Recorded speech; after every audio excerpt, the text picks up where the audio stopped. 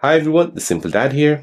In this video, I'll show you how to set alarm quickly with your voice on your Samsung S25 Ultra. So instead of tapping through all this menu here, going into the clock app, tapping on alarm, going ahead and tapping one of these and then going ahead and setting it, you can basically do this all by voice.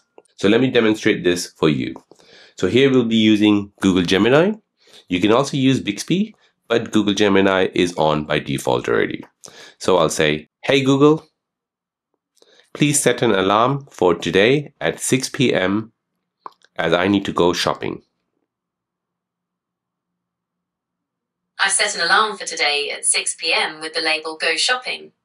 Hey Gemini, open the clock app. And as you can see, there's an alarm set here for 6 p.m. to go to shopping.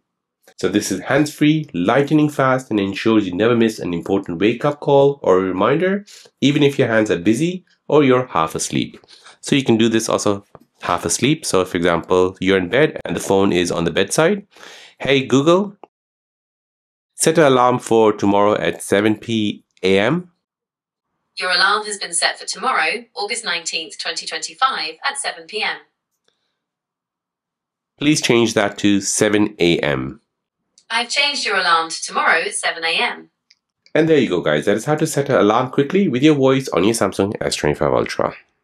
If you're new on the channel and you want to find out more about your iPhone, your Android phone, or any other social media apps, then don't forget to subscribe to this channel to become a part of the Simple Dad community. Hit the like button if you find this video useful.